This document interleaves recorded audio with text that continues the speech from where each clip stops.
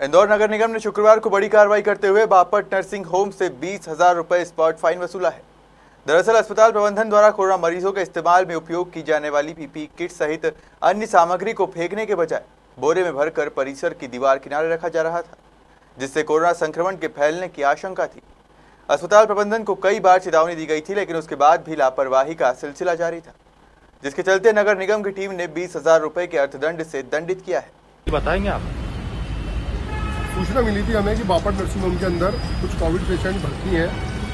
वहाँ पर उनका जो वेस्टेज था पीपी किट मास्क वगैरह, और भी जो भी वो मेडिकल का जो वेस्टेज था, इन्होंने वो भर के अपने साइड में पड़े हुए कैंपस के अंदर उन्होंने जमा दिए थे बहुत, काफ़ी मात्रा में, हमने बीस पच्चीस बोरे जमा दिए उन्होंने।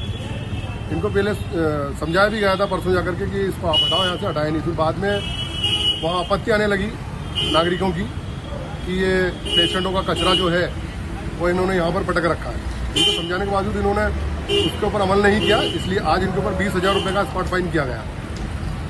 सर एक बात और जानना चाहूँगा आपने जो कार्रवाई की है आपके साथ साथ कौन कौन मौजूद थे और आपका पदनाम और नाम और पदनाम बता दीजिए। मेरा नाम राकेश डांगोरिया मेरे साथ में सहायक सीएसआई सुमित जी थे और अनुराग जी थे और साथ में वार्ड दरोगा जायसवाल जी भी थे और विष्णु डांगोरिया।